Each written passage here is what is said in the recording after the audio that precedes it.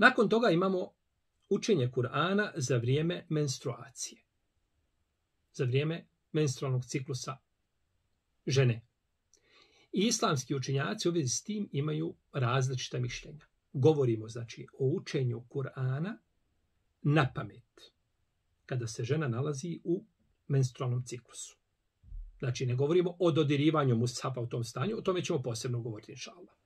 Sada govorimo znači o tome da žena ponavlja, naučila je žena jednu suru, jedan džuz manje ili više iz Kur'ana, neke odlomke, želi da to ponovi, da ne zaboravi u tih sedam ili osam dana, dok traje ciklus, da li joj je dozvoljeno da uči iz pamćenja na pamet ono što je naučila u vrijeme dok je u menstrualnom ciklusu.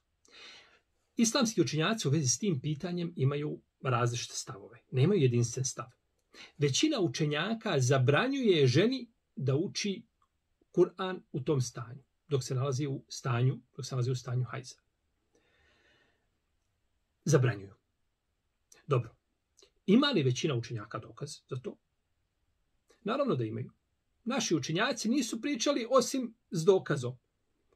Ne mora znaš da je svaki dokaz prihvatljiv, međutim dokaz postoji. Nemoguće je da naša ulema govori bez dokaza.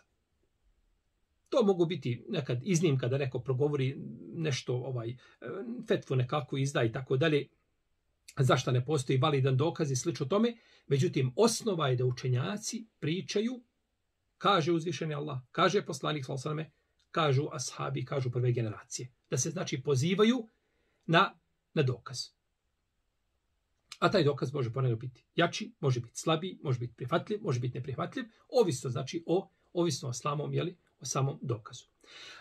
Većina islamskih učenjaka ima hadis Abdullaha ibn Omara radijallahu anhuma u kome kaže da je poslanik Islama Muhammed sallallahu alaihi wasallam rekao žena u vrijeme hajza i džunup. Žena u vrijeme znači hajza i džunup, bio muškarac ili žena, neće uč, učiti ništa iz Kur'ana. Neće učiti ništa iz Kur'ana. I ovaj hadis a, je zabilježen znači u poznatim hadijskim zbirkama, međutim veliki broj islamskih učenjaka je pregovorio ovom hadisu.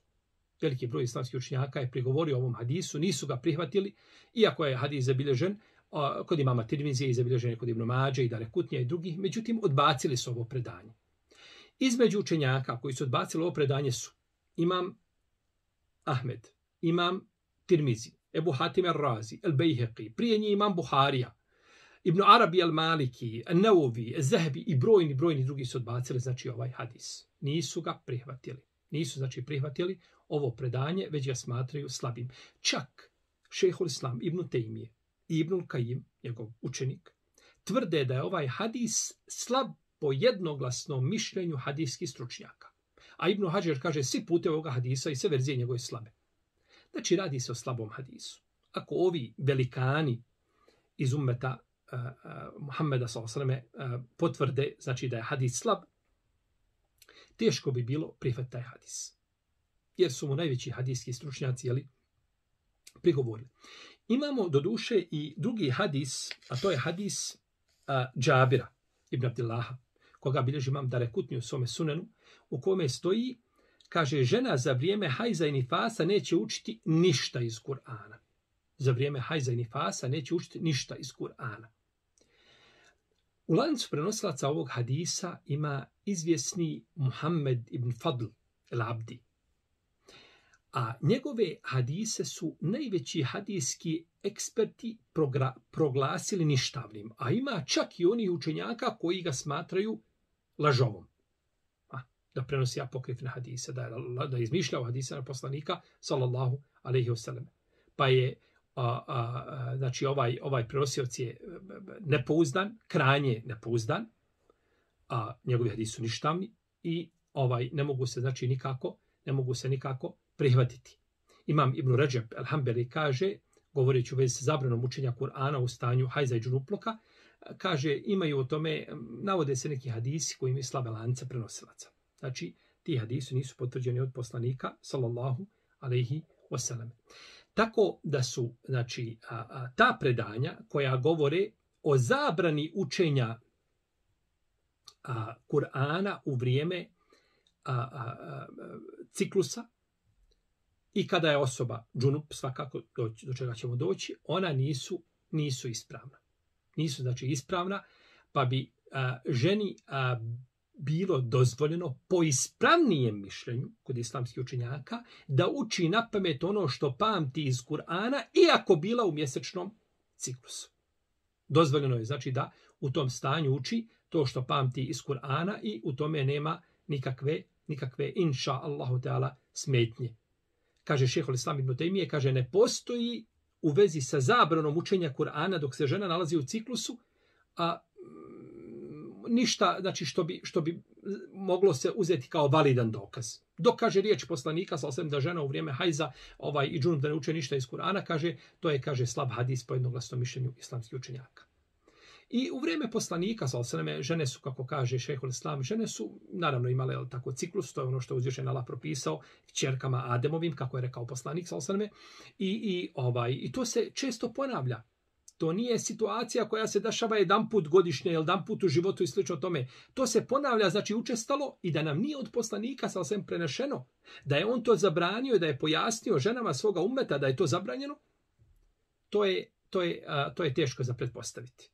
Niti svojim suprugama, niti je rekao to ikada Ajši, niti je to rekao da ikada Hafsi, niti je rekao ikada Saudi, niti je rekao da Umu Selemi, nikome od njih nije nikada od njih kazao, znači da, da ne smije učiti Kur'an on, ovaj, dok se nalazi u, u, u, jel, u svome ciklusu. Tako da ovaj po ispravnije mišljenje, znači kod islamskih učenjaka, a, a, dozvoljeno je ženi i teško je, jako teško kazati da je to zabranjeno da se uči na pamet. Iako kažemo, imamo veliki broj učenjaka koji su kazali, čak većina njih kažu da je zabranjeno. Međutim, a, gledajući na argumente i dokaze, to bi bilo teško kazati.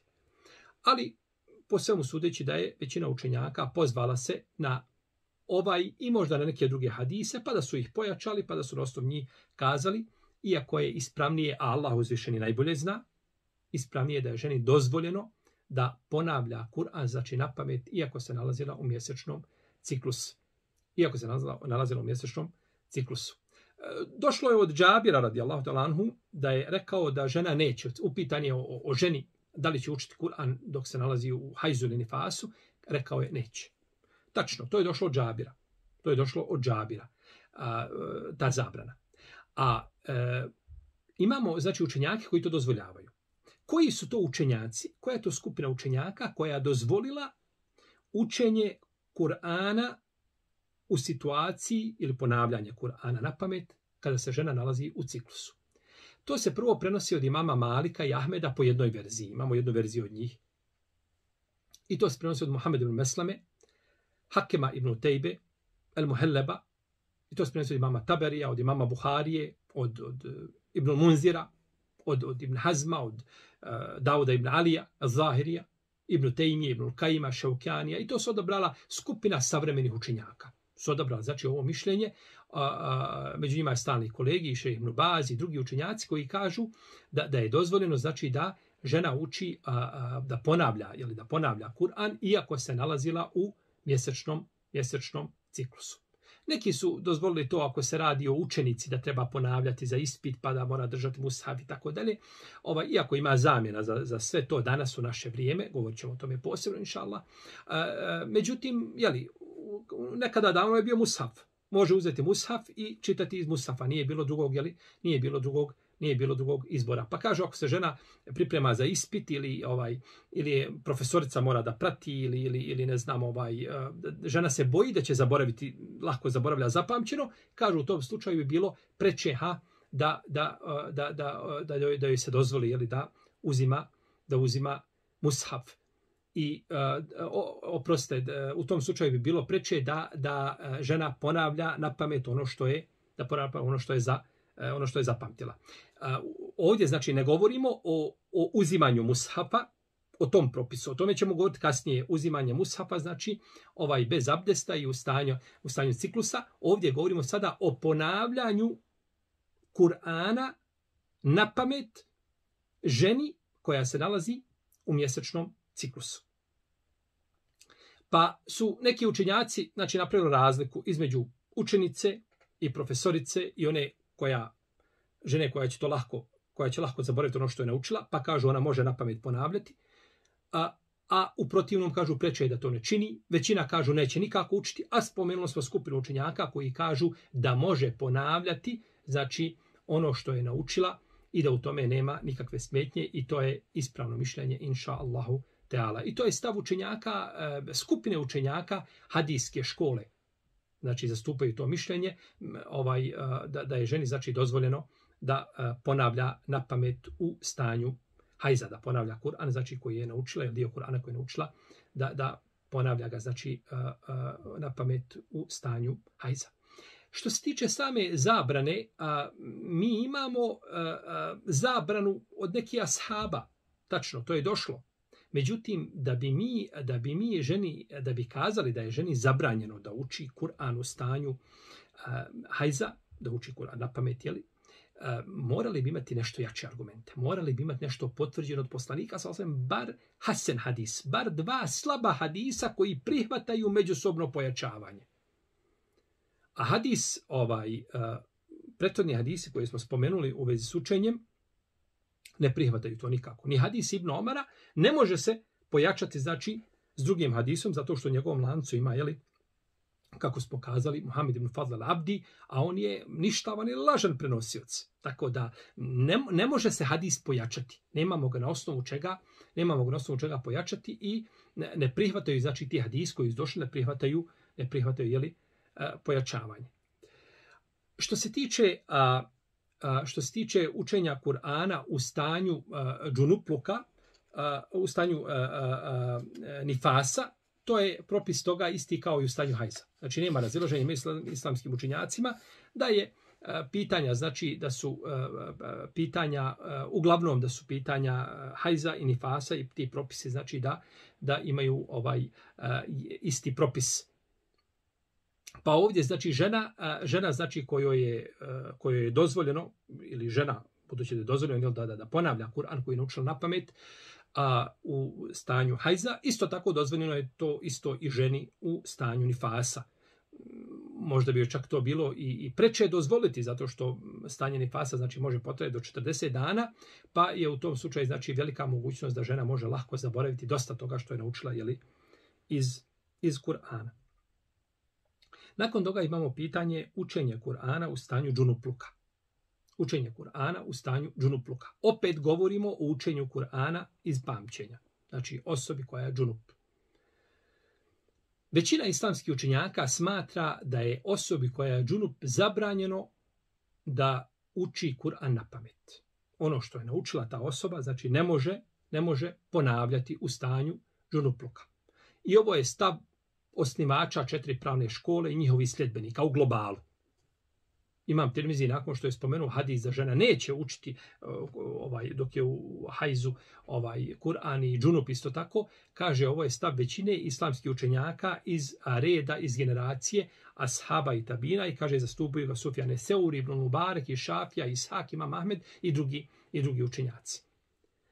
I većina pravnika a, svoj stav da je džunupu zabranjeno učenje Kur'ana na pamet, izgovaranje, znači Kur'ana je zabranjeno, oni svoj stav temelje na prethodno spomenutom hadisu, o kome smo već govorili.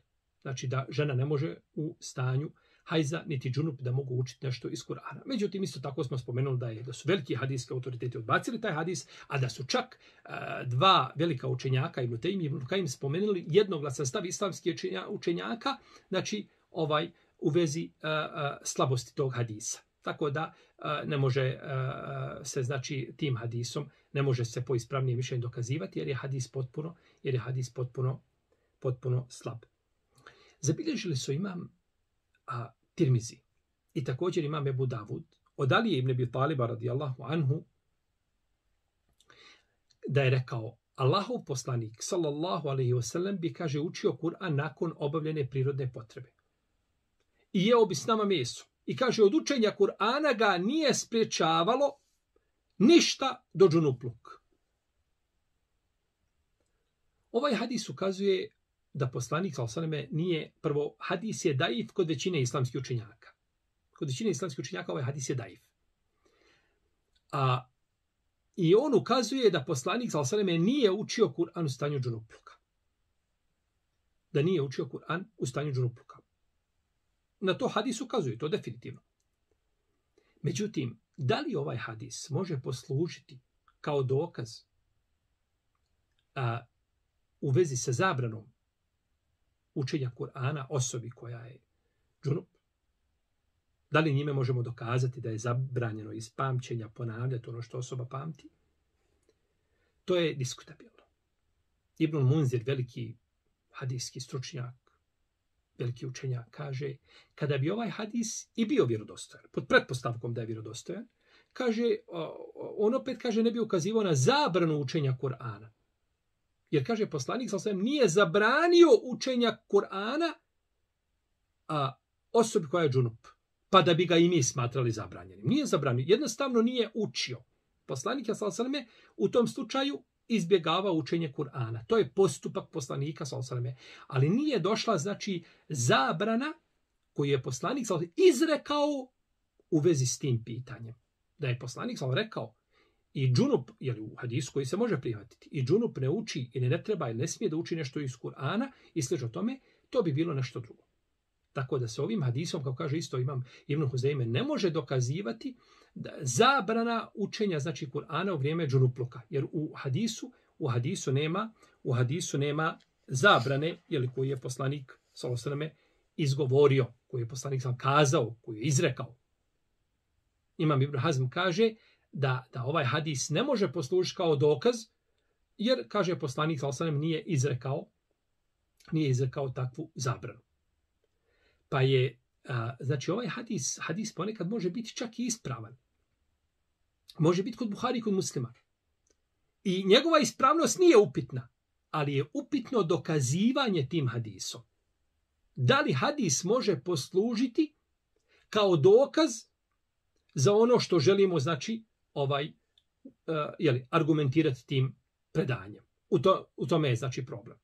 Tako da ovdje bi se moglo samo kazati najviše na šta bi hadis aludirao, kažemo, i kada bismo ga prihvatili, iako je kod, kod većine, ovaj, kod džumhura ovaj hadis slab, moglo bi se dokazati da je bolje i preče ovaj ne učiti Kur'an kada je čovjek džunup.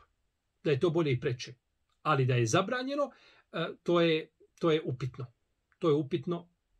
Možda bi mogao neko imati pravo da kaže, a, mekruh je, možda bi i to imalo svoje mjesto.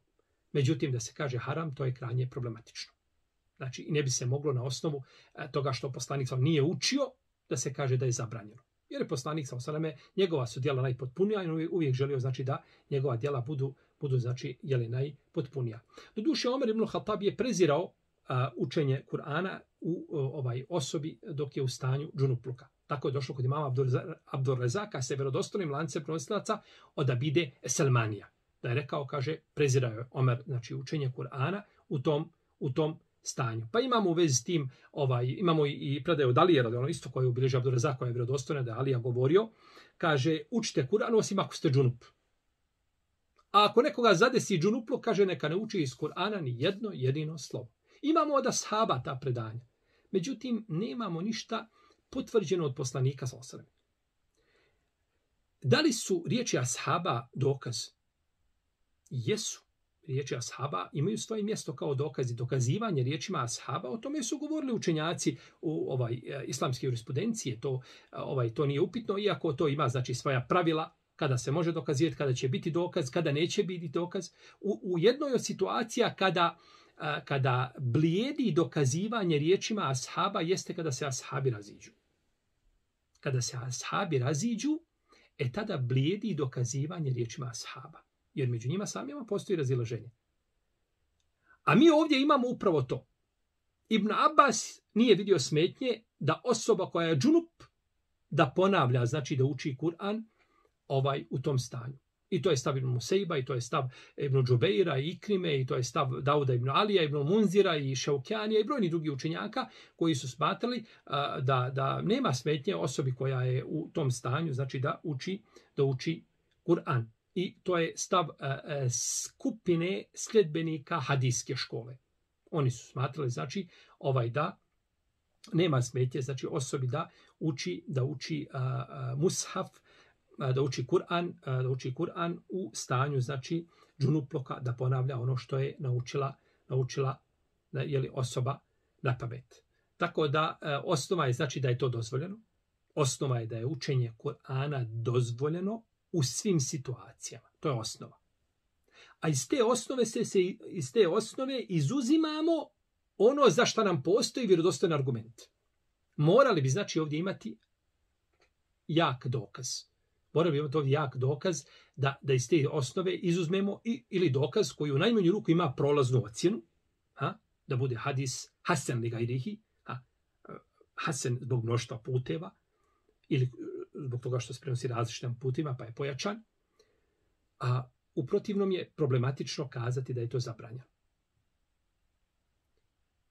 Ibn Abbas je učio svoj uobičajni uh, e, wird dio iz Kur'ana dok je bio džunup. Imam Buharija kaže, Ibn Abbas kaže, nije vidio smetje u tome da džunup uči, da džunup uči Kur'an. Pa nije, znači vidimo, ashabi se razišla. Ibn Abbas na jednoj strani, na imamo na drugoj strani ovaj, Omera, Džabira. Ha. Razilaženje među ashabima. Dok postoji to razilaženje među ashabima, znači razilaženje odma vezano za krug ehlu sunnata wal džamata i nije problematično da čovjek odabere jedno mišljenje, da poziva ka to mišljenju, nije problematično da čovjek kaže da je to zabranjeno, neko od učenjaka ili imama ili daja kaže da je zabranjeno, da se ne smije učiti u tom stanju. Nije, to se ulazi u krug dozvoljenih razilaženja i tu čovjek treba biti širokogrudan. Ima pravo da poziva svom mišljenju, međutim, ovaj uvijek da treba e, ima uvijek treba imati znači na umu da da je to mišljenje koje je odabrao i koje isto tako ovaj e, moguće da je pogrešno. Moguće da je pogrešno jer ovaj odabir mišljenja je podložan grešci a, i u, u vjeri ne može pogriješiti samo poslanik. Jer ako desi se nekakav propust nešto, to objava popravi. U protivnom, a, rad svih ljudi i njihova mišljenja su, a, neka su ispravna, neka su pogrešna. Pa ako su mogli najviši imami umeta, naš selef mogli pogriješiti, šta je onda sa onima koji su došli, koji su došli ali nakon, nakon njih? Tako da a, nema smetje, znači da, a, da a, osoba koja je džunup, a, a, da prouče nešto iz Kur'ana. A, a, neki su učinjaci kaže može ajet, može dva, više, manje, razilaženje znači, među učinjacima. Onaj ko bi ostavio, ko bi izbjegavao i, i ne bi u tom slučaju učio Kur'an, on je postupio po, po mišljenju nekih ashaba i po mišljenju većine učenjaka. Onaj ko bi učio u tom stanju Kur'an, on je postupio po mišljenju Ibn Abbasa, nekih učenjaka iz generacije Tabina i nekih učenjaka koji došli nakon njih. Znači, postoje, postoje znači, o, zabrane se zasnivaju na riječima ashaba. Zabrane se najjače zasnivaju na riječima ashaba, a kažemo među ashabima samima postoji razilaženje u vezi s tim. Pa ko želi izbjegavati iz predostrožnosti ima pravo na to, međutim, da bi, da bi kazali da je to zabranjeno, a, a, za takvu zabranu bi nam trebao ipak a, nešto jači dokaz. Morali bi znači jači argumente da je da je jeli ovaj a, učenje Kur'ana u tom u tom stanju u tom stanju zabranjeno. Jer kako smo prethodno kazali, osnova je da je dozvoljeno učenje Kur'ana u svim situacijama. Pa kada dođe zabrana da se na određenom mjestu ne može i ne smije učiti Kur'an, u određenoj situaciji i tako dalje, onda je to izuzeto iz tog općeg pravila. A ovdje kažemo, izuzimamo iz opće dozvole, izuzeli bi to riječima ashaba, a među samima ashabima postoji razilaženje. Pa, je, pa bi tako dokazivanje, znači te zabrane, bilo teško i bilo bi neprihvatljivo.